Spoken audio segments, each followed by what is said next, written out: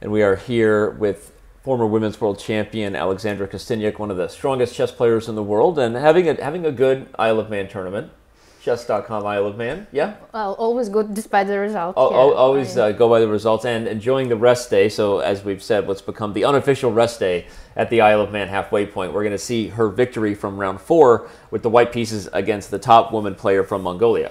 And uh, Alexandra, take it away. yeah, I was playing with white, um, and well, e4. That's Okay, my favorite move. c5. Did you feel confident in your preparation for the Uh, game? Actually, um, she is um, playing on almost one line with uh, black, Okay. so it was quite easy to, To prepare. predict, there yeah. are some players who try to surprise their opponents. There are different strategies. Right, right. And um, Some people that are stubborn and yeah, you know, well, not yeah. stubborn, but uh, yeah, prefer to know one line, but very principled, good. yeah. or well, there are different approaches to Yeah. chess. So she plays always uh, this line, e6, which is Paulsen, which transposes to Scheveningen a little bit later on. Okay. So it's an open Sicilian. So she played the Knight c6. She Okay. started with, uh, there are different move orders, different nuances for each move order, but she starts always with this move, knight c6, knight c3, and then she goes queen c7. Actually, she uh, already played a very interesting game in this tournament uh, against uh, Le, uh, Le Quang. Okay uh, Vietnamese. Yes, Okay. um, and the game continued the same way, bishop e3, a6. The, the other move to make is knight f6, Mm-hmm. Right. trying to not Yeah, to there's some not crazy lines with knight f6, knight b5, and f4 yes, stuff. yes, right? that's okay, yeah. correct. But so that's why probably she plays a6 to not to let white play it. Okay. Uh, so I I opted for bishop e2, like the most classical approach nowadays. Not the English attack, right? I mean, the English attack is in Najdorf, but Yeah. nowadays the, I think the most fa- fancy way to play here was white is queen f3 and Ah. then uh, alongside castle. Okay. But yeah, I've always played bishop e2 line, and I don't know why to change it for the moment. Enjoying it. Knight f6, castling, bishop e7. There is another line which goes bishop b4. It's a bit crazy because the knight then goes to a4. Kids don't don't Yeah, don't do this, no, disregard. No, actually, it's the best move. I think it's an Right. exception where we will Yeah. say that the knight on the dim is. Um, on The the rim is bad, dim, but but here you have to do it because actually we're heading to this square, Right. which apparently is very weak. We sacrifice this pawn, knight e4, knight c6, and goes a long, long, long series. It's possible, but did you expect her to go for the sharper line, Uh, or you didn't know? she, she played a few games with bishop uh, before, Okay. but recently she switched to the main uh, continuation, which is bishop e7. I played f4, so now I'm thinking about playing e5. right. That's why black plays d6, protecting the square e5. And here comes the queen's transfer. White is transferring her, uh, her queen to the king side, closer to the opponent's king. Still, still theory right now. Oh, a long, long theory. Okay. Actually, mm, the main theory here, which, um, uh, well, I think always about the match between Kasparov and Karpov, Uh-huh. uh, starts with the move a4. Okay. They had a very long theoretical discussion, and that's been like the move number one, not letting black play b5 and Right. securing some space. And the, I mean, the theory is enormous here and huge. But what's interesting when I was, since I was a little girl, I played this line with Queen G3. It's considered to be like the more direct Yeah, more aggressive approach, yeah, the more aggr- aggressive. But um, at the same time, it's um, it well when you play this line with white, you don't really hope for a huge advantage because uh, most of the pieces are being exchanged, Right. and uh, so rather for a small plus. Strange, yes. But a strange position you know well and you played many yeah, times. So yeah. I stopped actually at some point because when computer came to our uh, our planet. our life, when yeah, they came to our planet. it started to show zero in Right. most of the lines here. But right. who cares? Okay, at least it's quite it's quite direct. So exchange b5, threatening to play b4, then that's why I play a3, bishop b7, not really threatening to take on e4 just yet. Not yet. But Yeah, because the pawn on g7 it's it's hanging, right? I have Right. two my pieces. That's why the main move here for white is king h1, followed by rook a to e1, and then bishop d3. And then start to prepare for e5 or f5 breakthrough. Again, the series enormous. enormous there. And during my preparation, I I started to think, okay, why to play king h1 immediately? Started to look at some other possibilities and different setups. Uh, I've tried um, the setup rook a to d1 and bishop f3. That's another approach, but with king h1. More of a positional one, right? Where you're yeah, you're probably trying to, it's against this um, Yeah, yeah. this bishop, Okay. which can be le- very annoying in this Right. line. So, but I played two games like this, and actually yesterday during my home preparation, I started wondering why, why do I play king h1 here? If it can be useful in this variation, it comes from when I play e5 to prepare e5 against this yeah, check. you don't want the check, okay? But since I play bishop f3 anyway, I want to play bishop f3. Probably I can just wait and not move my king and Okay. just just do my plan. I played uh, bishop f3. And so this was a move order, a nuance that you kind of prepared specifically for this game. Yeah, actually, um, I just um, came This, up with this it was a- idea. It was an existential yeah, question, an hour, an hour before the game, I didn't really have time to analyze and to go deeper. Right. So there are two um, main approaches for black here. Uh, the the first one is bishop c6, then queen b7, and starting the attack here on the uh, queen side. She played rook a to d8, also quite quite a solid way to play. Rook a to d1, rook d7. It's well, it looks like when you look at the computer evaluation, it's always equal. Mm-hmm. But to play this line with black, you really need to look out for Yeah. every breakthrough on Yeah. every single move and uh, then make some small waiting moves because there is nothing actually you can do. You just need Right. to sit and wait, maybe a little prepare your position, and hopefully somewhere in the future do something. Uh, rook d3. So that so far is my opening preparation. I prepared at home, and the idea behind this move order, I want to play rook f to d1 and then e5, Mm-hmm. and somehow it works very well uh, since I um, didn't waste time moving my king to h1. Um, but she played actually a very interesting move. Of course, I didn't have time to analyze it at home. She played a5, Ooh. very direct approach, very Trying to trade b5 for c2, I guess. Potentially. Yes. And since my opening preparation finished here, I spent almost 45 minutes Mm-hmm. trying to figure out the best way. I didn't succeed.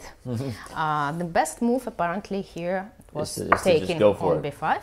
But queen takes e2. Well, of course, I did spend a lot of time here uh, analyzing this position. One of the very first lines that I saw, and I was like, really? Yeah. so happy to see it. I'll show it. Here, rook c3, queen takes b2, rook c5, Uh huh. This could be something special b3. over here. rook g5. Yeah. It's not the best moves that I'm showing, but it's just the most beautiful. Right. f5. Unfortunately, here e5 just wins and stops, so there's nothing. But during the game, I calculated knight takes e4, f takes g6. Wow. Here Oh. comes the queen sacrifice, and and We have Checkmate mate in too. two. Yeah. A G good, a good with- puzzle book. with yeah with discover checks to discover check. Here we go. Nothing like moving a Ah, piece. When I saw the Yeah. the- I got a little bit overexcited. I thought, yes, that's that's that's the way to finish the Yeah, game. That's you know. but then, first of all, of course, e5. Right. E5 would be. But uh, there is a problem even faster. Uh, you know, when you analyze, um, when you try to calculate long, long, long uh, forced lines, right. always check on the very first moves Right. because um, that's how mistakes. I mean.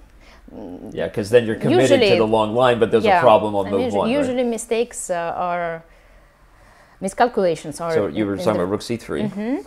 Queen takes b2, rook c5. Okay, queen b3 is a very strong move, but nothing wrong is with Mm. queen takes d4. And when I saw queen takes d4, I. Okay, and then d takes. Yeah, nothing. Okay, I have the queen. That's the only good thing in this position. Okay, and somehow I understood that this line doesn't work. And the wind went out of your sails, and okay. Yeah, I tried. I tried to make work uh, a4, this Right. pawn sacrifice, but somehow didn't feel like it should uh, should should work out. Uh, again, apparently I checked with uh, my computer really fast. Rook f to d1 is the strongest move, but it was not that clear for me during the game because of bishop a6. Here I should play rook 3 to d2. And if she plays queen c4, I have this nice move. Oh, wow. Yes. Okay, I see. Uh, and I will just continue the line because um, it's not that obvious. Even when you look at, at this line uh, during the analysis, absolutely, I mean, you cannot really feel that uh, white is Yeah, dominating it's dangerous. so and much. B2 falls, yes, and it's, yeah. uh, bishop b2, and I think king, you have white has to play king h1 with the idea after bishop takes e3 to play bishop e2. Ah, wow. No, I mean computer makes makes uh, it look simple, but it make it look easy, yeah, Um, but that's very complicated. yeah. So nice geometry, but anyway. So that was uh, the way for white to proceed. I didn't manage to find it somehow. I don't know why, but I went uh, for um, for the line. Well, I knew that it's it's not really. It doesn't give me anything, but I need to make a move. Uh, before the other standard reaction uh, for this um, Right. um, queen side attack, mm, I didn't like it because of queen c4. Mm-hmm. And it was not clear who is better for me at all. So I decided to prepare for the move before by Aha, back making king this h1. move. Yeah, unfortunately, yeah, if you want to prepare e5, this Right. move can be useful. And my idea was after b4, so I took took and I played e5. It's a counter attack, but it doesn't work here that well. Bishop takes e5 because f takes e5 doesn't give anything. Okay, here queen c8, not the only move, but a very good one. And unfortunately, I was hoping for this knight e4 yeah, trying to take advantage of the pin still. immediately or by exchanging first. Uh, and again, I saw this little nice trap that yeah. black could have gotten into with rook f to d8. It's bishop Okay. takes h7. King has to take. Yeah, then well, it, he doesn't have to take. He Okay, can yeah, go, yeah. but um, yeah. Quickly grab the h file. Very nice. and checkmate is coming. Ah. Okay, and again, that's why I didn't take on d7, but of course I should have, because instead of this very weak rook f to d8, So you, you took on played. d7 first, right? Before that. Yeah. no, but she took, yeah, she took my knight. Okay. I took. She uh, made a very strong move, which is g6, prophylactical move against Mm-hmm. all the checkmating threats and attack. And I realized, to my that if I take here, rook takes d7, and she has a very nice Ah. intermediate move.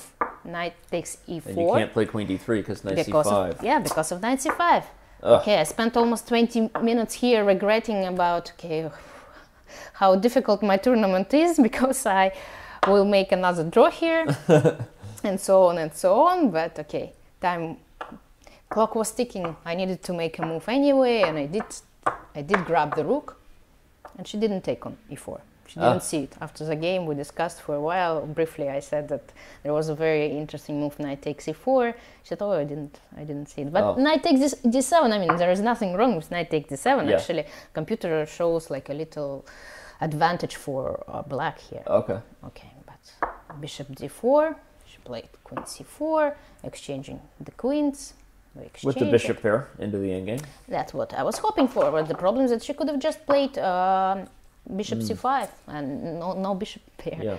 And then, well, it should be about equal, right? We should um, we should uh, agree on a draw soon. Uh, instead, you know, it's interesting because the position is absolutely harmless for a black, but with slightly little, I mean, smallest, smallest, smallest inaccuracies uh, with every move Yeah.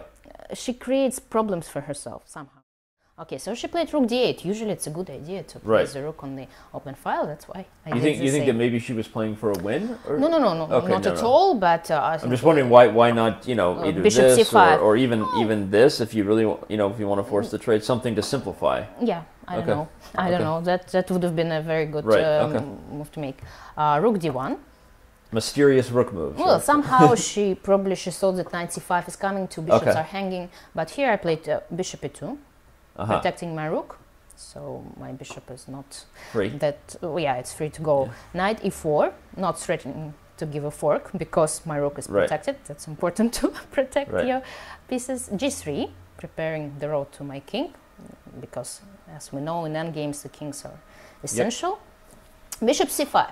Finally, Right. finally she decides to exchange uh, the bishops. Well, still she didn't really spoil anything, of course. But still, a few critical moves But for a you, few, right? yeah, Because she, you have she, the she two gave on me a one. possibility to prepare the road for my king, for example. Right. So it's like a few extra tempi. Right. So she takes, I take, knight c5. Okay, I play king g1. Was not clear, you know, this kind of perfectionist where to go, but it's probably How much time did you spend on that, King G1 or King I didn't G2? have that much Oh, Okay. time already. Um, okay, I like to go on the Yeah, it king. seems very somehow, direct, yeah, right? somehow Yeah, okay. it looks more beautiful. Okay, and now I think after knight a4 immediately b3. Unfortunately, I was trying to make this this move work. Mm, Knight sacrifice the b2, bishop. yeah, But b5, but it doesn't work. ah, check and hit. Ah, Mhm, very yeah. nice. Okay, yeah, check and then that's disappointing. Well, I Yeah. mean, it's too, it's not uh, Yeah. advanced enough to, to make it work. So b3 is the only move. Knight c3, bishop f3. But then again, I didn't realize this endgame like very deeply. She has um, two plans. She can go with her king to d6, or she can try to play e5. Again, bringing at some point the king to the center. And I'm not sure here whether I need to take on e5 or I can go just like this. But here, with exchange or without, she has a very strong pawn, which will, I think, give her enough compensation to, to save the game. I mean, to make it a draw. Even if I win this pawn, Yeah, it's although it's not that uh, easy to win. I mean, and my bishop doesn't have enough space here. Well, it's very close to a draw again. I haven't analyzed it to, to show you like the very the best way to proceed for black, but again, she decided to opt for another plan, or she decided to play f6 and then to play e5. I played uh, king of Two, and somehow she realized she got scared for some reason. e5 would have been a nice way to proceed here. Blockade, f3. She probably got scared because she saw this possibility that I play c3, then b4. Uh huh. Very nice. I don't know, but anyway, I just sacrificed the pawn. I'm not sure it's enough to to win. And she decided to change her mind and uh, play instead of e5, play knight a4. But Going- here, now you're up a tempo. yeah, uh, I can play b3 and um, transpose to the lines that we already discussed, but I played bishop g4 instead. Aha. Because it's a very good idea for me to, if she plays f5, to stop, right? The Right. You, counterplay you for prevent her. that whole idea. of Yeah. E5. Right. Very nice. That's why, of course, she doesn't play f5. She, she played king f7, and I played king e3. Not protecting it because if she takes here right now she somehow she already gave me so much time i can play king d4 and i will win eventually this pawn and you may trap the knight along with it. well it doesn't yeah Yeah. so i will just win it back it just gives me more time Right. again probably nothing nothing terrible has happened for black but somehow she already um, felt worried. She played e5 i took here. We exchange the pawns. King e4 and then king d5 again the same idea. She took on b2 king c5 and yeah she got so scared uh, that she decided to it's not so easy already for black.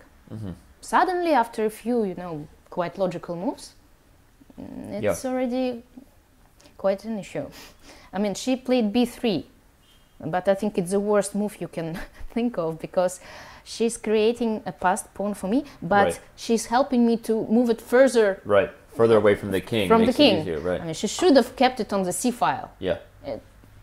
okay, king uh, before, knight b6, some troubles Right. already. But at least the, the, the pawn is on the c file. While when she played uh, when she played b3, the game is practically over. I think it's not possible to save it here. Yeah. I if you took. she has to play knight d3, Yeah, right? So we, if we remove those pieces, I have a completely winning endgame, Right, right? right. It's just a destruction for the king, and then I take. Actually, Pavel won the same way against Melkumyan in this Yeah, yeah. tournament. He transposed, with, he sacrificed an extra piece, and, And- and transposed to a pawn's endgame with a far yeah. uh, uh, advanced pawn. And here she tried to to do something, but I think it's just too late. We made a few more moves, and uh, well, the game is practically over here. She sacrificed uh, this pawn, but it doesn't it doesn't help the situation. Um, Yeah, I think she played knight a2, b5, e3, taking knight c3, bishop e2, Mm-hmm. of course protecting my joker of the endgame. yeah, king a5. Here I hesitated for um, she's hoping for a blunder. somehow did we did we put it correctly? The pawns here they were um, placed. I think the pawn was on h5. Okay. Yes, the pawn was on h5 somehow. I didn't ah because my bishop on g4 she pushed it h5. Okay. So here I hesitated for the moment uh, whether to play h4, securing the pawns, or to play bishop c4. I played bishop c4 at the end, just you know Mm-hmm. cutting of the uh, knight and the king from this central square. What's important here? The only drawing chance that she has, and she actually tried to to to make it work. Bishop of seven, a very strong move. Sometimes the bishop is ideally placed like this, so it stops the pawns of um, the opponent um, because I Right. just take right. She played king f5, king d4, and she played h4. so the only drawing chance, yes, this is Yeah. Square because I have the light squared bishop. If she manage, if she manages to sacrifice her knight for this pawn, it's going to be a draw. right. It's It's a- terrible. It's It's, a, terrible. nice creative It's a resource. Don't you hate that? nightmare. Yeah. so you have to be careful, but it's just impossible actually to sacrifice The knights knight. are just not. Yeah, somehow I think our game continued like this: knight b6, king c5, knight d7, and I managed to Push her back. yeah to push her to push her away from uh, from the from my pawn. Just, Yeah. The knight is just so helpless six, against yeah. the passed pawn. Yeah. So. And that's it. Yeah, it's a very. I mean, it's not the most fascinating game you can think No, of, but but, it was nice to win. Yeah. First of all, it's my first win in this tournament, and when you make a few draws one after another, you start wondering uh, whether you're capable Right, of you can- winning. So it's always nice to win a chess game, and it's quite ins- instructional. It has a, a very interesting opening idea. Yeah. It has to be analyzed further, and. Um, And almost a queen sack for me. Yes, so I found I found and the counter Right. counter queen uh, sacrifice. Yeah. So and the end games, yeah, they quite instructional. The bishop versus the knight. What's your experience in tournaments like this? Obviously, the, the format of the open event a little bit different than an invitational or, or a round robin or something like that, where uh, you're like you said, like you really want to get on a roll, like you want to win a game and start feeling better about your play. And uh, how do you feel about it after getting this win, getting some rest, that maybe ready to finish strong? Well, I didn't uh, feel. I don't feel that I'm completely recharged after the Olympiad. Probably it's Yeah. still there. A lot of players are saying that. I think yeah, I I yeah. just played. I mean, 30 minutes uh, of the first round. I already felt that it's not here. You know, Yeah, the yeah. energy that Yeah, you want to invest in every single move that you make. It's not here. right. And this tournament, I consider more like a warm up for me. For Right. the coming uh, world, uh, women's world Yeah, uh, the, championship. knockout. Yeah, Yeah, in Khanty So I don't really want to waste my energy, and I'm still lacking it. Yeah, so well, it's great. not here. But um, I enjoyed the venue, the playing hall, the tournament itself so much last year, despite my poor finish. Um, it it doesn't happen so often for me in open tournaments. I mean, it's, Yeah. this tournament is just an exception. So even though it's very close to Women's World uh, Championship, and I'm the kind of player who relies a lot on the energy level.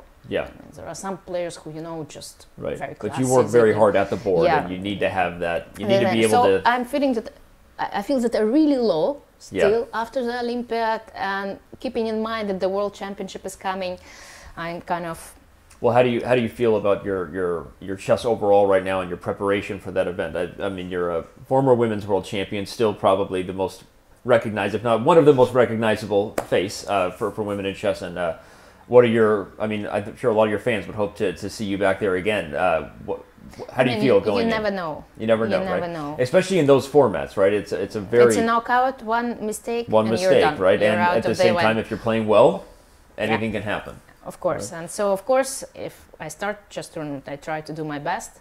But how it goes, You never Yeah. know. Yeah. Still.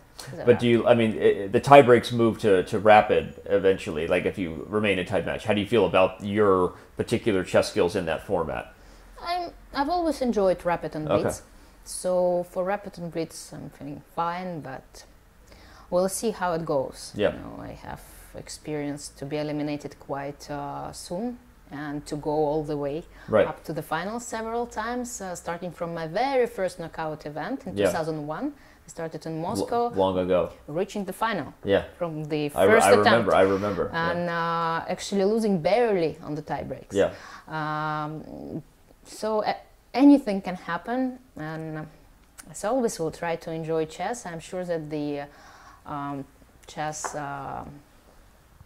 Uh, Chess world uh, will enjoy our championship Yeah. as well, despite Yeah. the fact that Yeah, Carlsen y- Caruana match will probably be yeah, uh, more exciting. more exciting. I mean, more let's, emotional let's be completely and- honest, right? I yeah. mean, a lot of those, uh, you know, who knows what will happen. But obviously, we wish you the best of luck. I mean, all of your Yeah, fans thank you and so everyone much. at chess.com will be watching. And uh, good luck in the rest of the tournament. Yeah, thank you. And uh, good luck in Khanty-Mansiysk. thank you.